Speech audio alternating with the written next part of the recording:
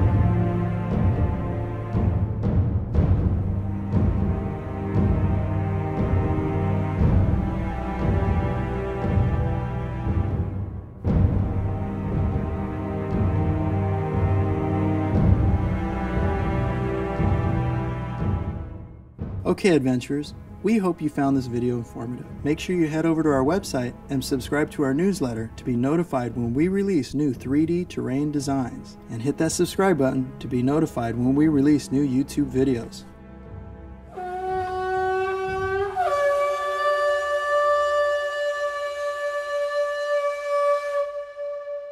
We wish you good fortune on the adventures to come.